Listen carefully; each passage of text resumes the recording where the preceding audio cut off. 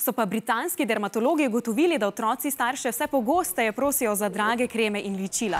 V njih so tudi sestavine, ki niso namenjene mladim, a kaj ko na vplivnežih, ki jih spremljajo, zgledajo tako dobro. Uporabi to vrstnih izdelkov smo se pozanimali na osnovni šoli Vižmarje Brod ter raziskali, kako lahko na vašo kožo vpliva krema, ki ni primerna za vašo starost. Sprvo umijemo pres vodo pa z milom. O, kremco za proti suhi koži, včasih pa tudi tonik, kot mami uporabljam. Serum za izsuševanje mazolov.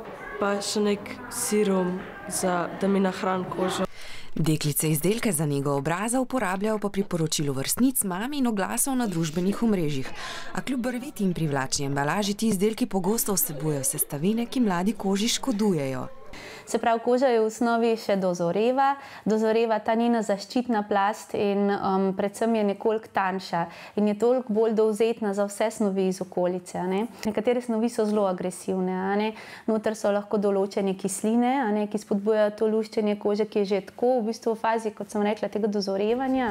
Uporaba neprimernih izdelkov lahko prinese neprijetne posledice. Moja koža se je začela luščati. In pač res se mi je pokvaril ta plast, v bistvu.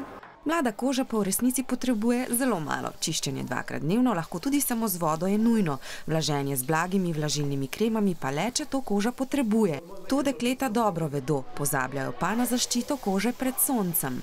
Od aprila do septembra sonce je tako močno, da je potrebna zaščita proti soncu. Koža se zaradi hormonov v najstniškem obdobju spreminja, kar lahko prinese akne in druge nečistoče. Tudi sicer je razumljivo, da se želimo polepšati. V bistvu ličem več ali manj vsak dan. Meni je to ful zabaven, ne vem, tako v rutini mi je vedno. Pa tudi zase, da sem sama sebi lepa. Ne vem, začela sem pred 12. Ja, pač to je moja izbira. Ja, ne, um, absolutno se je potrebno izogibati ličilom, ki so spet namenjena za odrasle.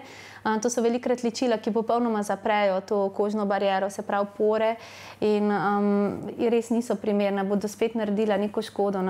Dovolj spanja, vode, gibanja na svežem zraku in zdrave hrane, pa bo vaša koža še lepša. In izogibajte se prepovedanim substancam, kot sta alkohol in cigarete, tudi elektronske.